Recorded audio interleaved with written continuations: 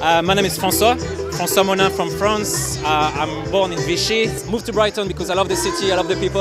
Um, I'm working as a bar manager in Lucky Voice in Brighton. I love it, I love the place, and and that's it. Yeah, love Brighton. So my record attempt is to open 2,000 bottles of beer.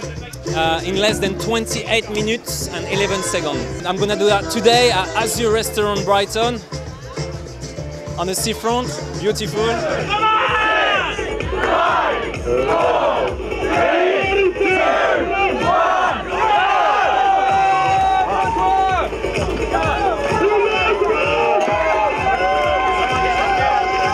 been opening bottle of beer every day, every day, 5, 10, 20, 25 bottle of beer every day.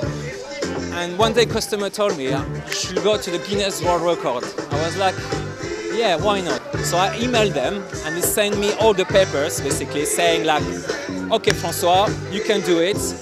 This is what you should do, what you should not do, how many bottles you have to open, this is the time, you should have the witnesses, you should have uh, all the filming, all the pictures, we want this, we want that, we want this, we want that, and I was like, oh my god, 2,000 bottle of, bottle of beer, I have to find 2,000 bottle of beer, that was the most difficult part exactly.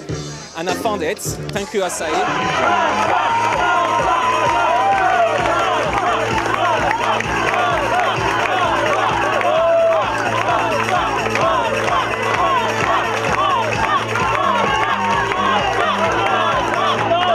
Want to thank um, Azure Restaurants. Thank you for their help.